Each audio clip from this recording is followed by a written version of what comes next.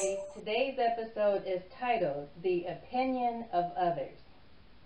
In James chapter 1, verse 5, it says, If any of you lacks wisdom, you should ask God, who gives generously to all, without finding fault, and it will be given to you.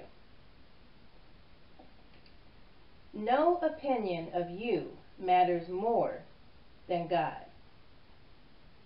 If you are asking for advice from other people, I believe that it is okay to do that if God leads you to do that. I do believe that it is more important that even on top of asking for advice from uh, people uh, that we trust, we should more importantly pray about it and ask God, and then we should do what we feel in our hearts to do. When I say that, I feel that we should do what we believe is going to bring us the most peace about the outcome of the situation. If you are someone who actually was giving advice to someone and your advice was not followed, it does not mean that you should feel rejected. In my eyes, we should all be grateful that someone even asked us for our opinion. At the end of the day, it is their life and it's their decision. Sometimes in life, God may lead us to look silly or look stupid. Like when Noah was told to build the ark and they had never even seen rain before, but here he is building this big old boat. Or like when Joshua and the Israelites were told to march around this uh, city, the walls of this city, seven times, or seven different days, seven times the last day, and then give a big shout. I'm sure that they looked really silly and really stupid. But at the end of their situation, Noah survived the flood, and the Israelites and Joshua conquered the city. There are other times in life when God doesn't lead us to look silly or stupid. We just look silly or stupid.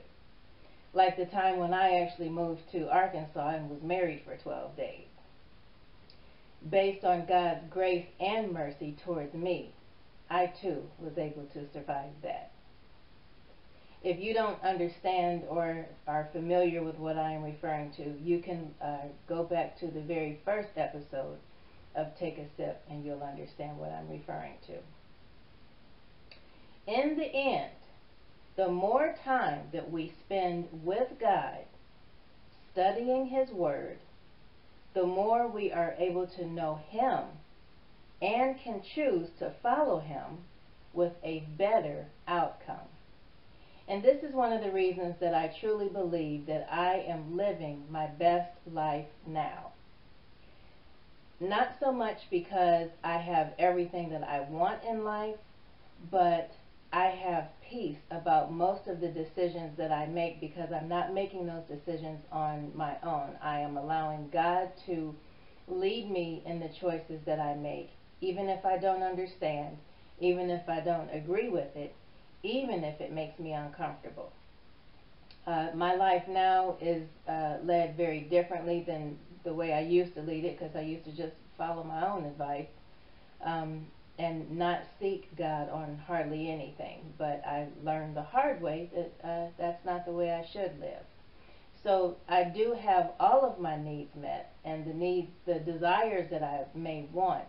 Um, I have peace on the road that God has me on right now. So that's uh, most important to me is that I believe that I am living my best life now because of the path that I am choosing to follow, allowing God to take the lead. My encouraging scripture is going to come from Jeremiah 29, verses 11 to 13.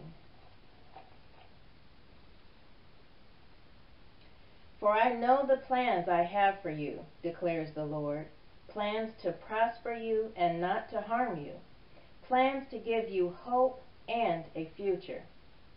Then you will call on me and come and pray to me, and I will listen to you. You will seek me and find me when you seek me with all your heart.